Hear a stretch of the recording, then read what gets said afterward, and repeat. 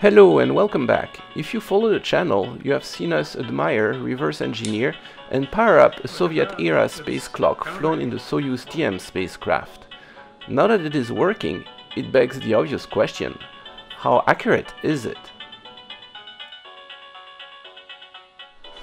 So hello again, we are back with our clock and now that it's working we wanted to do a little bit of metrology, find out how precise it is and Master Ken has it all figured out. So I've traced out most of the, the boards and this is the board that has the, the crystal on it over here and that um, goes through some dividers and should end up with one hertz here. That's a crystal, not connected to anything, it's just floating. Well, all the connections are under the crystal, so it was very hard to figure out what was connected to what. But, okay, but, but, but it, it oscillates. I, I finally got it sorted out. It's basically oh, um, two, two inverters. Oh, it's a it's a simple like, basic crystal oscillator. Yeah. Oh, okay, just the simplest you can do. And so you think we, we clog it out here? So this is going to be your 1 megahertz on the resistor, um, but we're going to follow it after it goes through all these divide by 10 and should give us 1 hertz out on the other side. And it's all on the same board? Yeah. Alright, so, okay, so that board is, is actually relatively accessible, I think. If I go over here, I have to flip the clock. This, it's this board Yep. Right. So here, here's the crystal. Uh-huh. Um, th this chip is the inverters for the oscillator, so there should be one megahertz over here. That goes to a bunch of divide by 10 chips, and then one hertz over at this side. Okay. And then he here are the three transformers, the pulse transformers for the start, stop, and reset signals. Oh, we can try to, to, to check if, if we can make that work. And on the instrumentation side, I don't have everything today, so I'll have to do it in several days. But we have a frequency meter with uh, a quartz source clock, uh, no oven. Uh, I have the higher quality frequency meter uh, with a uh, quartz oscillator in an oven. This one's calibrated from last year at minus 26 part per billion, to be precise. I have a GPS discipline oscillator that I can use as input to those. So that could now should make it um, atomic clock precise. Uh, and hopefully Marcel will show up with a cesium clock. Uh, that that will have to do in, in another day. Oh yeah, you have the uh, the uh, GPS discipline oscillator. Yeah, this is this is amazing. This is a few hundred bucks or something like that over eBay, and it it works well, but we need to be uh, we need to have direct sight of the satellites. So here is my GPS uh, discipline oscillator, and then we had it hooked up so it goes the antenna goes out the window and it's all wired up past the analog computer all back in the lab and here we go coming out here on my uh, on my universal counter. So this is 10 to the 6th so this doesn't count. So you just have to look at that. Yeah it's 20 parts per billion. I see let, let me recalibrate that one so it's at zero. We're getting closer. I think I am calibrated So now I'm hooked up with that one. So this one doesn't have an oven quartz source. It has the regular one, so it's, it's still off. But I can clock it off this one. So if I clock it externally, it should go to, okay, so now they're measuring the same thing.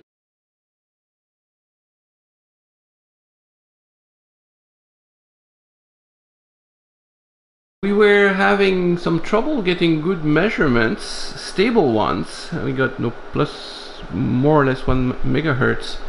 And then we look at the signal and it's super jittery. That's a clock signal at one megahertz. You can sort of see how jittery it is. And then if you stop it and start to look at it, it's clean for most of it. And then you see these things. Where the, the oscillator seems to have a hiccup.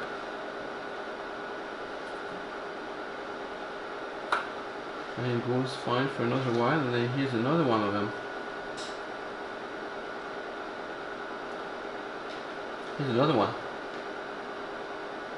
And that's that's far off.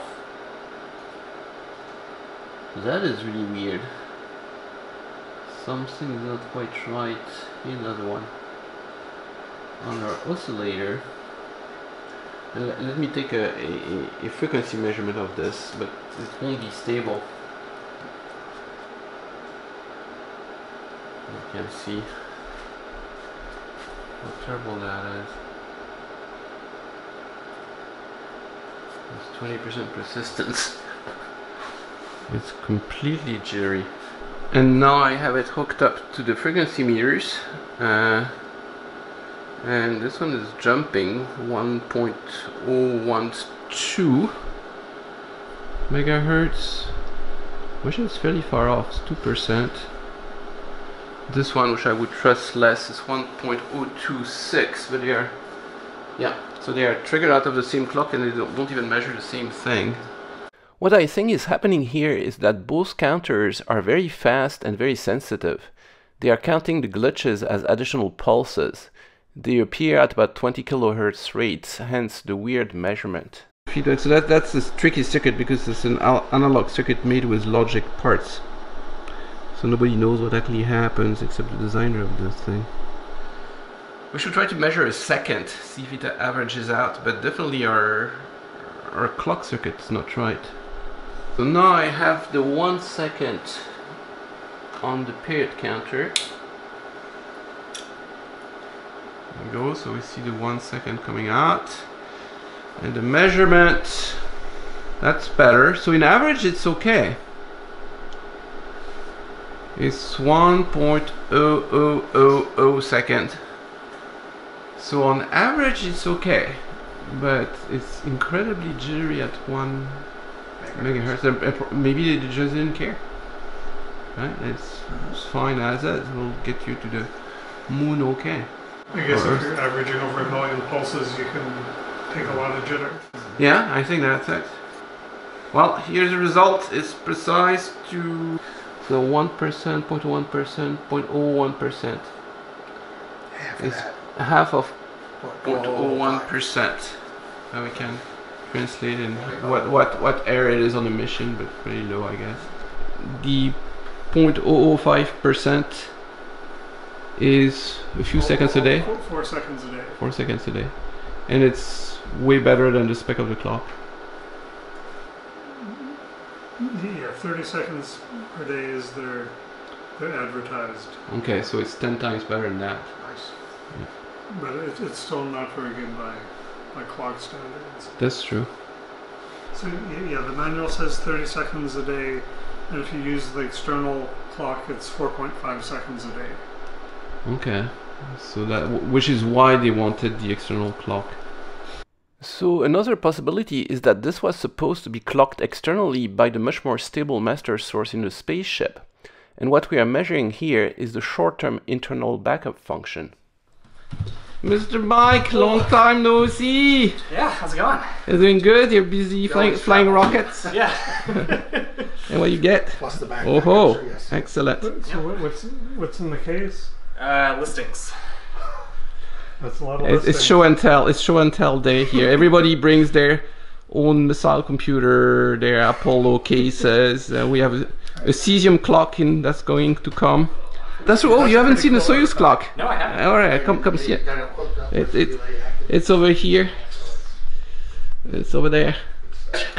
I, I added the, the little flag, and Lori was completely mad when I turned this flag. So Lori, uh, my wife, escaped communism, Mm. and that wasn't a fun story. Right. Uh, actually, it was a disaster, and her two brothers went to education camp. So when I unpacked the thing, she just went, went berserk. So, guys, it's not that we condone communism; is that we just celebrate good engineering for wherever it comes. It's it's I mean, people in the comments says it's like setting a VCR clock is like close to impossible. Oh, I, I missed a digit. No, I didn't. Oh wow. And then if, if you screw it up, you have to redo it all over again, you know, with gloves and all that stuff in space while your ship is tumbling. Wow. It's well within spec. The spec hmm. was kind of a mechanical clock spec, like 30 seconds a day. This one does 4 seconds a day, which is rather poor for a Spacecraft. For, for a spacecraft clock. Yeah, yeah, so I, uh, 4.2 seconds, this one. yeah, and and so it's a factor almost 200 worse than the Apollo spacecraft clock. Yeah. The um, the computer designer book has a section on the oscillator design for the computer, and Uh-huh. uh, the the board was upset about how uh, precise it was. In Apollo, the Apollo Guidance Computer Oscillator Module B7 provided the time reference for the entire spacecraft. The mission requirements ask for a precision of 2 parts per million over all conditions. This corresponds to about 0.17 seconds per day. However, the final B7 module acceptance test criterions were over 10 times tighter. 4.3 milliseconds a day at constant voltage and a normal 40 C plus minus half a degree temperature control. 8.6 milliseconds a day for a plus minus 10% voltage excursion and 0.1 milliseconds a day for aging, which totals to a worst case of plus minus 13 milliseconds a day over temp voltage and aging. Unlike the Soyuz clock we have here, the B7 module was closely temperature controlled at 40 C plus minus half a degree, which of course helps things considerably. But where the temperature controls to fail, there was a plus minus 26 milliseconds per day maximum allocated for 0 to 70 C temperature excursions, still far, far below the mission requirements. The actual frequency drift was measured in flight for the whole Apollo 8 mission and was reported to be 953 microseconds per hour or 23 milliseconds a day, over 7 times better than the mission requirements. Maybe that's why the board got a, bit ticked off by the over engineering. They put in compensation for temperature and pressure and like everything they So- could think of. They Uh-huh. thought it was over-engineered. Oh. Uh, MIT and Raytheon picked out a lot of like single-use components, some of Uh-huh. which were kind of fragile, to get it as accurate as possible. okay, so there was a special effort because it, it, it was like um, uh, below um, a millisecond of drift Yeah. per hour. Something like that. Yeah, That's It's- 950 microsecond measured, which is incredible. Yeah. But back to our Soyuz clock. We ended up with a bit of an ambiguous result. The clock is good but not great. At 4 seconds per day, it is well under its 30 seconds per day spec. But this is still fairly imprecise by clock standards. The external clocking would also reduce the spec greatly, so maybe internal clocking was just backup. We can also see that the oscillator circuit has some glitches that cause very high jitter.